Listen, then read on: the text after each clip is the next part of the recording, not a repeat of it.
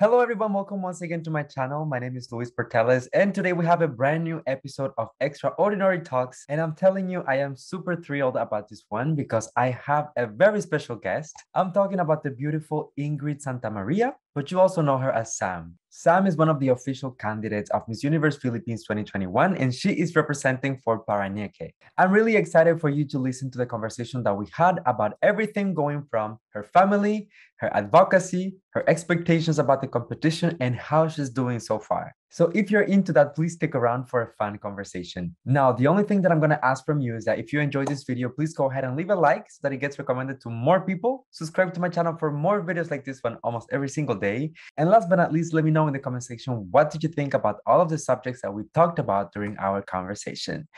All right, everyone. So without further ado, I'll see you with Sam right after the intro. Be strong.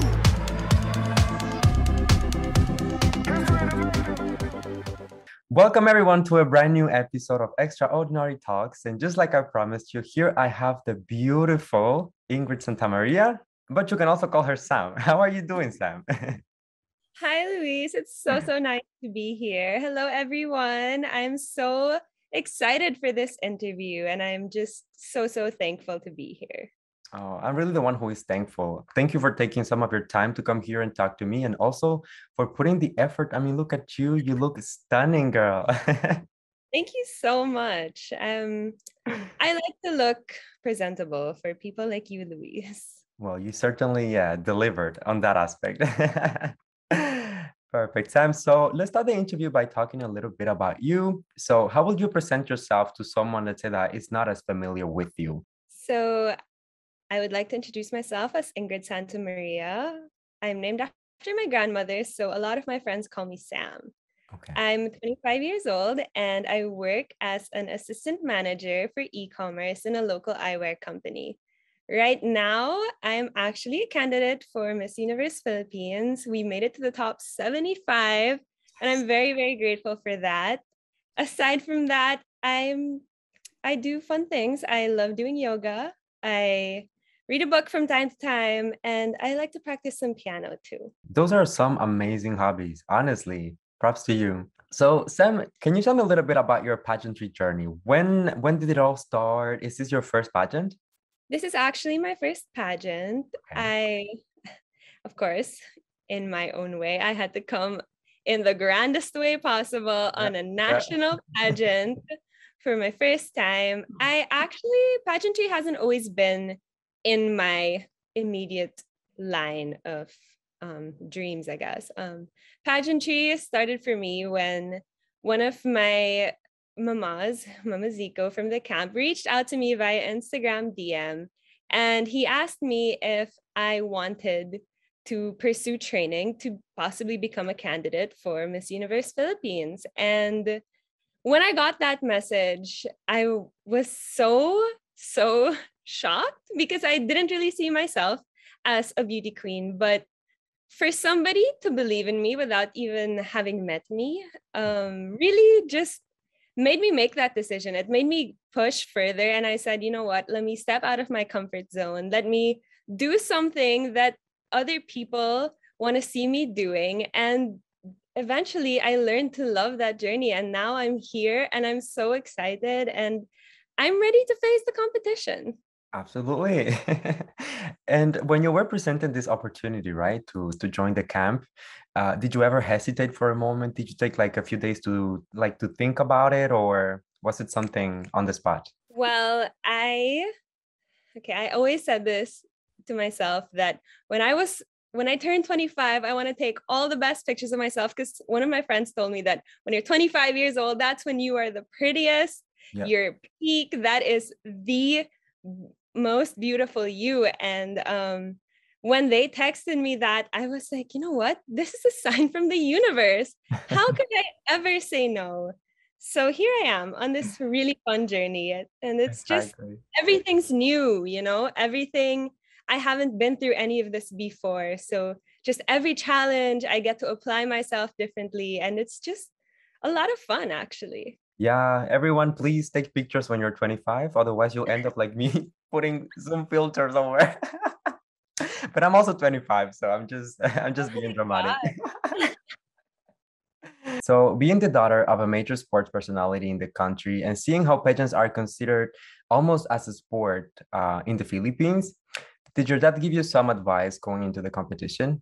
This is actually a funny story. Um, my dad was really hesitant in the start yeah. for to allow me to join this pageant, but as I progressed and as I proved to him that it was something that I wanted to do and something that I wanted to invest my time into, um, one thing he's always taught me was to apply myself in every situation. He always taught me to just be the best that I can be. And if that's something that I want to do, to work hard to get that goal and to achieve that dream. And right now, he's really, really supportive. So I'm so happy about that. But mm-hmm. one thing he really taught me really was to, you know, push myself past any boundaries and any expectation. Exactly. Yeah, I do imagine that for him as a dad, it must have been difficult because you want to protect your your child at all costs, right? And putting yourself in a pageant, it's a it's a huge experience, but it's also a lot of pressure. A lot of people looking at you with a magnifying glass, right? So it can be hard but i'm glad that he's supportive and at the end of the day he allowed you to go for something that that you're passionate about i mean you also come from a family of heritage uh, a lot of you know personalities in the family uh, artists was there someone within the family that, that you looked up um, as an inspiration when it comes to pageantry or maybe some of your other projects i am inspired by all of my family, of course. We're a very, very close family on both sides. And it's really fun to grow up in a big family. But one of the people who really inspired me was my grandmother, Ingrid Santamaria. Um, I grew up watching her live out her passion. I grew up watching all of her concerts, and they weren't always in the grandest of places.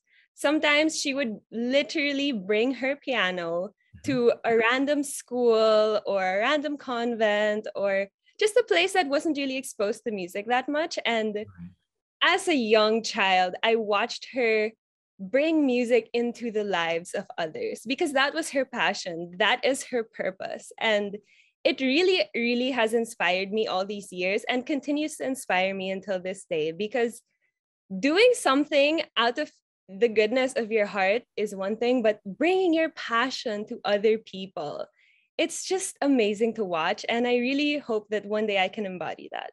I feel like that's when you feel like someone is a true artist you know? It's not always about the venues or the audience it's just about sharing your art with everyone else so. Because you're a new candidate right and this is your first national pageant i mean your first pageant overall is there something about you that people don't know based on on first impressions? Well i would like to describe myself as an extroverted introvert. Okay. What, what that means for me is that when people meet me for the first time, they think I'm very, very friendly, very outgoing, very fun. And I am all those things. But sometimes I just like to curl up in bed and read a book and shut the world out and just be quiet. sometimes I need to sit with myself and think about what I need to do the next day and think about what my goals are and what my dreams are and what how I can achieve those things. And so, yeah, it's a little bit of a balance of both, but I just consider myself to be exactly that an extroverted introvert. I can definitely relate to that. What's your astrological sign, by the way? I'm a Virgo. I'm a Virgo too. I mean, it makes sense. It makes oh sense. Oh yeah, I'm very organized. yeah, I definitely see where you're coming from. I mean, like, I'm out there, you know, like I'm an extrovert and all, but I like my me time as well, you know. So talking about the competition, uh, Sam, at a first glance, you have a soft and delicate personality. Do you consider yourself to be a fierce competitor as well?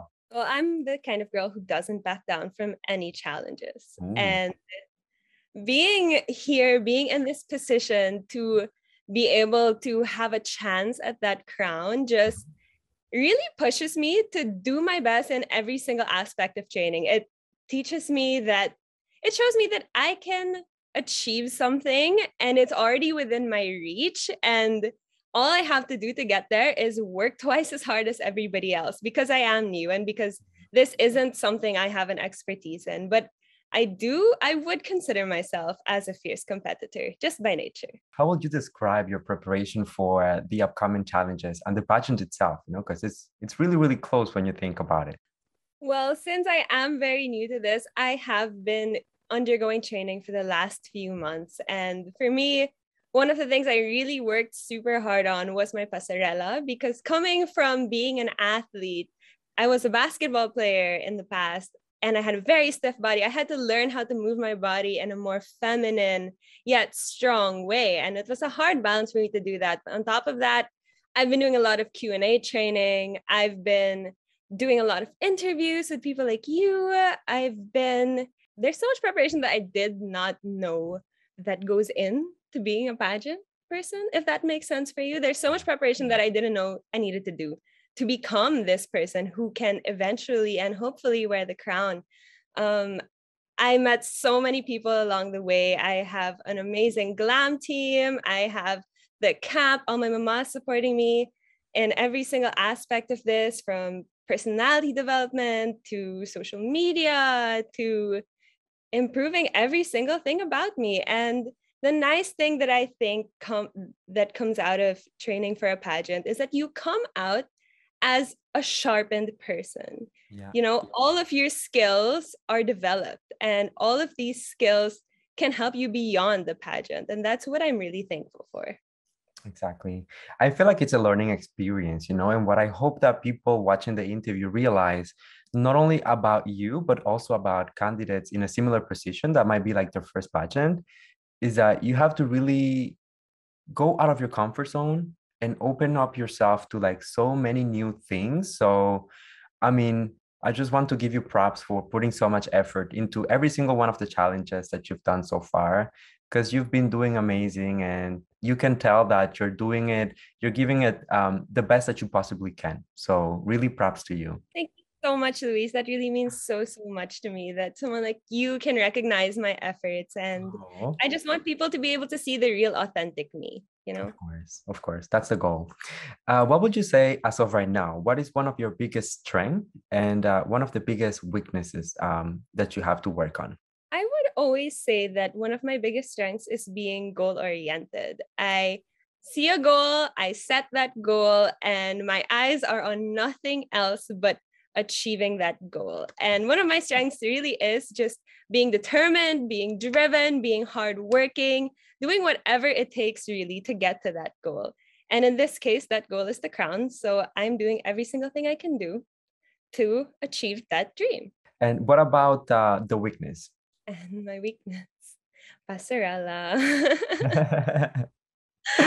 really? I've been really, really working on that walk. Um, it's hard for me to express myself, I guess, in that kind of way. I haven't, I never had a dance background. I've always been awkward and lanky and it's also a way of presenting yourself you know so i think that that is a weakness i can definitely improve on and something that i am working toward every day yeah i feel like pasarela is one of the biggest challenges because uh, i mean we all know that you're beautiful that like you're like this like you know like top tier girl but uh, I feel like pasarela is a lot of technique and it's also a lot of confidence as well. You know, the most challenging part about it is doing it all while looking like you're having fun and that you're not thinking about the steps and that you're not thinking about the technique and the and the twirls and the transitions.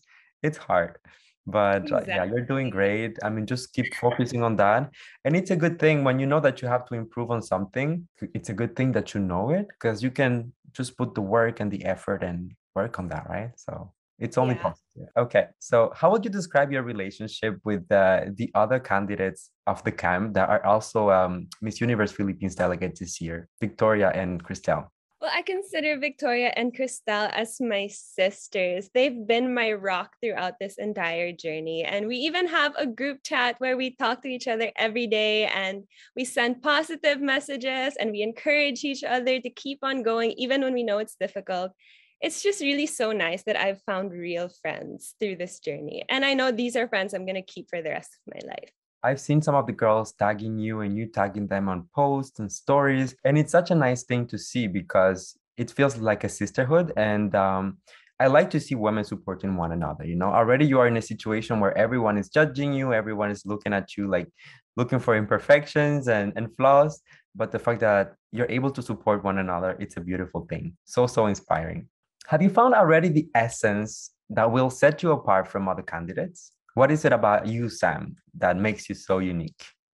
I don't think I've had to find that essence. I think coming into this pageant as a new a newcomer, a new candidate, a new delegate, yeah. um, I've come into this with a fresh mind. I've come into this with a different mindset than all the other girls have. And I've already broken the mold just by coming into this yeah. straight out of left field. And it's just, I feel that my essence really is my authenticity and my genuine intentions to not only win this pageant for myself, but really to be able to help the youth. So, like you mentioned, you are new to this world and uh, this entire experience. But obviously, this year within the competition, we have some candidates who are considered to be veterans. We have some showbiz personalities. How does that make you feel? Do you see it as a challenge or as an opportunity? You know, being side by side with pageant veterans, with people who've been doing this for years and years who've had experience in this industry and are excelling in this industry really just motivates me to become at par with them. It just pushes me to work harder. It pushes me to learn more and to become that person that can be standing next to them on that stage. And I don't really think that it's a threatening environment. I think of it more as an inspiring environment. Yeah. But I always tell the girls, like when I meet like younger or newer candidates, I always tell them, you know, everyone had to start somewhere. So yes, there are a few candidates this year who already have a platform, who are already known and have built a name for themselves, but they also started somewhere, you know, and this is an opportunity for you to show your potential alongside people who are already big within the industry, right? And precisely talking about preparation, what do you think is more important during, especially within the context of uh, Miss Universe Philippines, mental or physical preparation? Hmm, well, I think that mental and physical preparation come hand in hand. Although you can be physically ready, you can have this whole checklist checked out. But at the end of the day, if you aren't 100% mentally there, it will show in your performance. Yeah. And I think that taking care of your mental health is a huge part of this journey because there is a lot of pressure coming from a lot of people and people you don't even know who are commenting on things about you. Um, you need to make your mind strong enough to be able to still keep going on this journey and eventually to become a queen to mm-hmm. become somebody who can wear that crown, to yeah. become somebody of influence, yeah. you need to have that mental strength because even when you get there, there will be more people who will put pressure on you and there will be more people who will have something to say. And I think that mental strength is very, very, very important. Absolutely. Uh, especially like you were saying, I feel like one of the biggest challenges obviously you have like the entire physical preparation right? But you are already being judged on that so it's kind of to be expected. Uh, but i feel like what a lot of candidates are not ready for is the the social pressure that comes with it as well through social media through expectation through you know uh, putting everything that people hope for they put it on your shoulder. So that might be very very heavy to carry. But with the right people around you, with the right team, uh, with the right mindset as well. And I feel like, especially while you are within the competition, having like some sort of like wellness activity uh, uh as well can help you a lot definitely keep that in mind. And I hope that everyone watching us, I mean, not only the audience, but also if other beauty queens are watching us, uh, take those things into consideration. Take it from Sam. Have you thought about how to deal with the pressure and public expectation if it ever gets to that point? Well, coming into this, I knew that I would somewhat become a public figure. And even this early on in the journey, there are a lot of expectations. And there is, of course, always going to be that pressure for you to perform, for you to become a better beauty queen, I guess you would say, a better version a better to have somebody with better character and better strength yeah. um and with that the pressure that comes it comes from all around it comes from family it comes from friends it comes from sometimes even the mamas but all of these people i know the, the pressure that comes from them is coming from a place of love it's coming from a place telling me that you can improve on this aspect so you should yeah. and all of those pressures actually aren't really pressure i think those are motivation for me to become the person that I need to be to wear that crown. And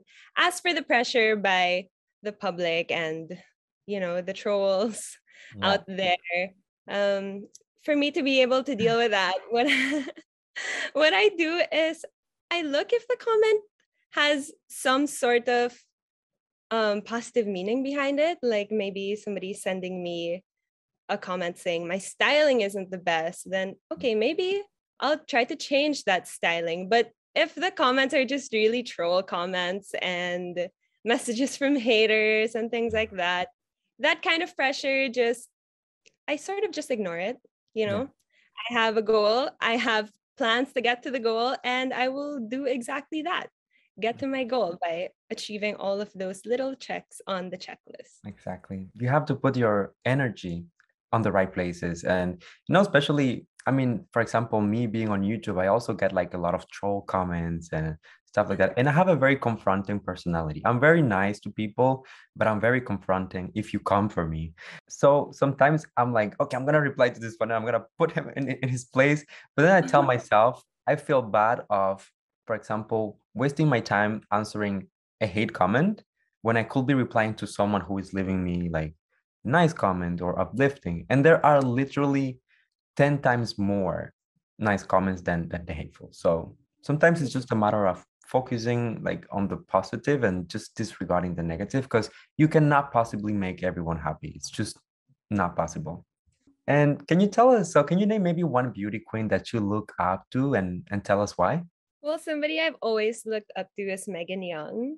Um, she, besides being a beauty queen and the only um, Filipino Miss World, I really love her because she shows her real side on social media. Mm-hmm. I think a lot of people are fond of her, especially because of that, because she isn't afraid to be quirky online. She isn't afraid to speak her mind. And she's always very positive And that sends such a nice message to young girls out there that people are multifaceted and mm-hmm. there's nothing wrong with a little bit of fun here and there. You're still a respectable person and i find that that's what makes her beautiful. And that's what makes you relatable as well because people of course everyone knows that you're beautiful that you are you know amazing and all of that but people also want to relate to you. They don't just want you to be like this beautiful queen on a pedestal that they can just look at, right? They want to laugh with you. They want to know that you also have flaws and insecurities, and it's part of it. And talking about being inspirational, let's talk about your advocacy a little bit. Can you see my transitions? How I'm trying to. You're so good. Your, uh, your boy's oh trying right here. so, can you tell us a little bit about your advocacy, Sam? Well, my advocacy is really simple. I want youth led communities to engage in sport and art, not merely as a form of recreation, but truly as a means to see the world in a new way. Okay. So through sports and art, and this is mainly for for the community, right? So how do you implicate yourself within your community, for example? Well, I have been a community youth leader in my local community for the last 10 years. And I love serving that community because it's a community of like minded individuals. And it's fun because I get to see the growth. Like over the last 10 years, I've seen a lot of people grow into mature adults. And I love the fact that not only do they learn from me, but I learned so, so much from them. And my community has really been my support system since the start, since I was around 15 or 16 years old. And it's really interesting to see them grow with me. And um, if I can add to that, more recently, I've joined as a volunteer for a Girls Got Game. And they have this um, advocacy, which is to empower young Filipinas to use sport as a means to get out of poverty. So that's also something that I really, really love. That is something I resonate with, and that the reason that's the reason why I chose to volunteer with them. I feel like um, community work, especially uh, something that requires like a team effort, like sports, like arts, uh, very often becomes a support system for for these individuals, and then has like a long a long term impact in their lives because uh, you never know what might be the context at home sometimes or what might be like the financial situation but the fact that you have a group of people who believe in you who uplift you and who really want to who really want you to excel in life it really can make um, a big difference how would you describe the impact of sports and art uh, in your own life? I've been surrounded by a family of athletes and artists. Um, so, for my whole life, sports and arts have impacted me in different ways. Right. I believe that as an athlete myself, not only did I learn life skills, but I developed values. I developed the value of discipline, of hard work, of a competitive spirit, of somebody who never gives up and all these values I'm able to apply to every situation in life. I am no longer a basketball player, but I still do embody all of these qualities and I have applied them to my corporate life. Mm-hmm. I've applied them, of course, in my family life. And now I want to apply these values here in my pageant life absolutely. You get so so much from it right? You you learn to be a team player. You get uh, perseverance uh, resilience so many things. I mean and i feel like sports are really important when you think about it. I was not a fan of sports as i was growing up but the more i get older i'm like maybe i should have done it is it too late?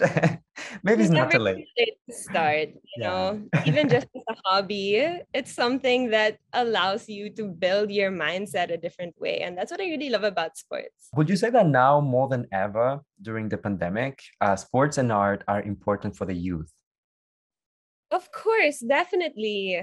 Right now, we are all spending a lot of time indoors, just as we have for the last year, a year and a half or so. And sports and arts gives you an avenue to creatively express yourself. Sports and arts are tools for you to use especially not just to escape boredom you know but more than that they give you a means for you to have a goal and to get that goal. And for example let's say yoga. I started yoga during this pandemic and i couldn't even reach my toes but now I can do a split, I can do a headstand. You know, doing sports and arts, like they give you a goal that you can work toward. And it's something that helps you have more confidence and enrich yourself. And I think that during the pandemic, it is really great because we have all these online resources. We have videos up on YouTube where we can learn to do new things. And it's just a whole, whole um, spectrum of possibilities out there. Absolutely.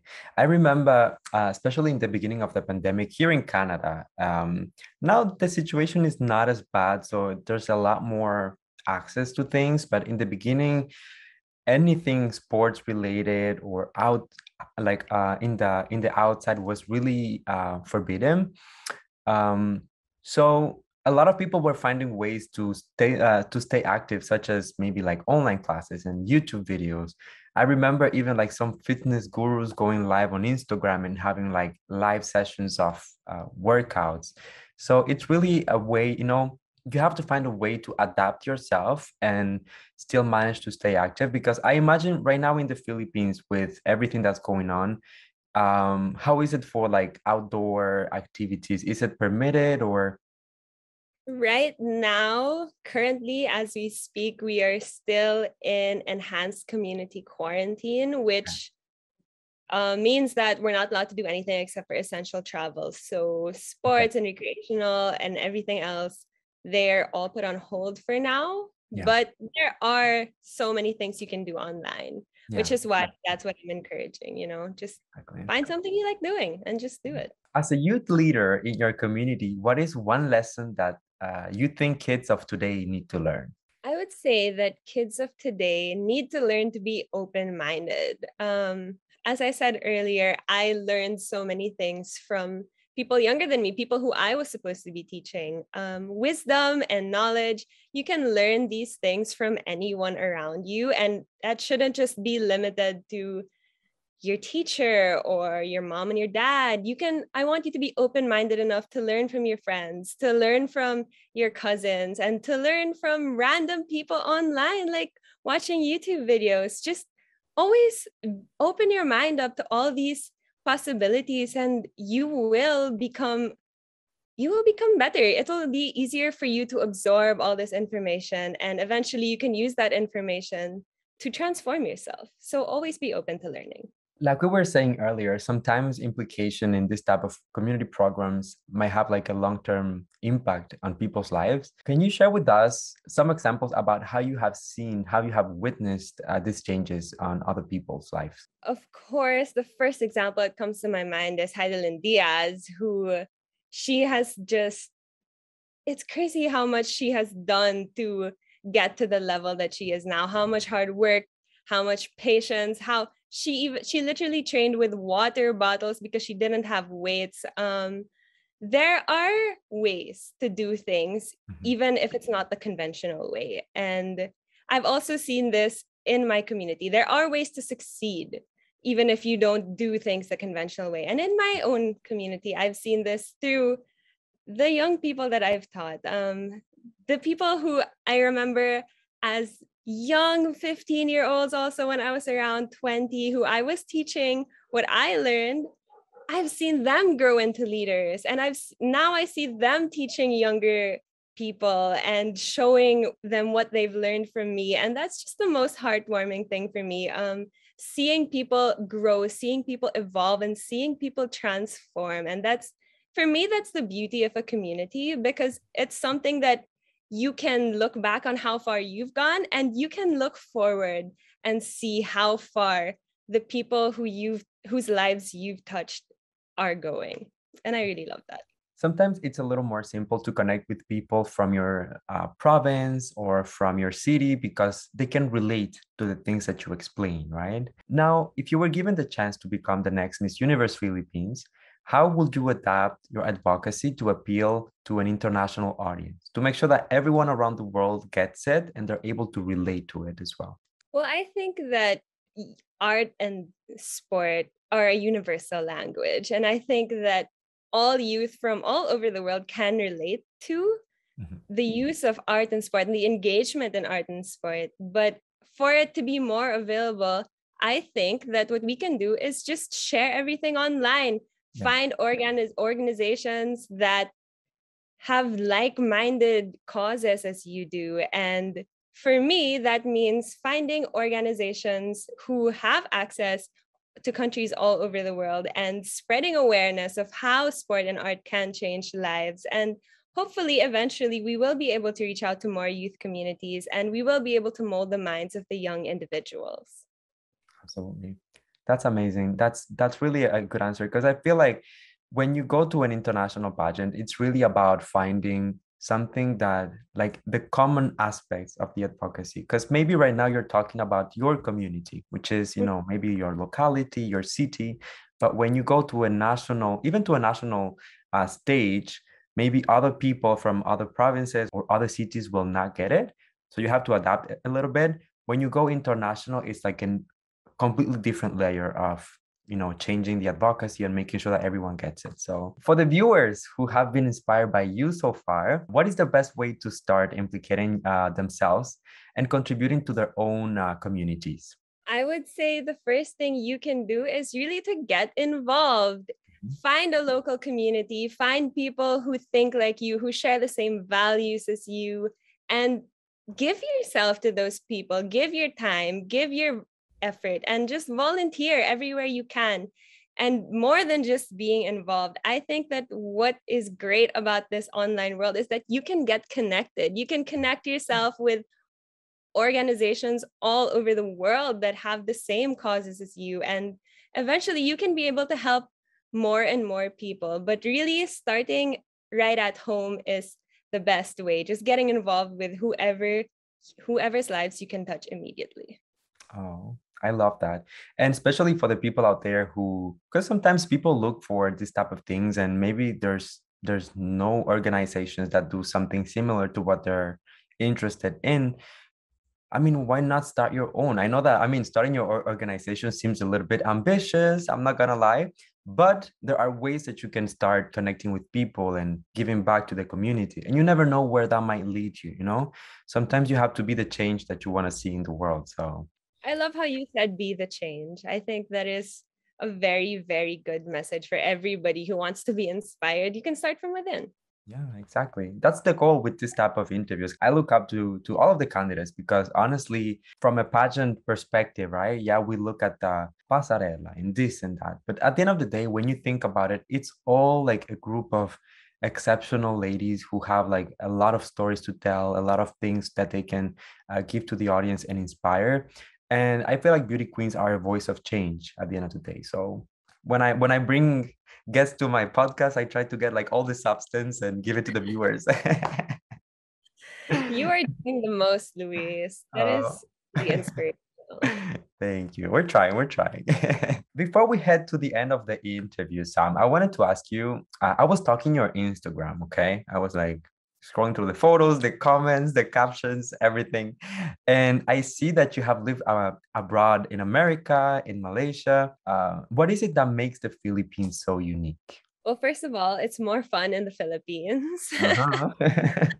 um, but I think what makes the Philippines more fun really is the people. There's nothing like being surrounded by Filipinos who even who even when they're placed in times of trial and times of really really really difficult situations um, they manage somehow to be happy mm. and it's funny because you wouldn't expect just random people to say hi to you or to greet you on the street or to even smile at you even if they don't know you but for me being in the philippines it shows how the people's happiness brings us together, if that makes sense. Yeah. Everybody has a positive mindset. Even if they're just eating pancit canton, they're already so, so happy. And just that kind of attitude and that kind of positivity really radiates through the people and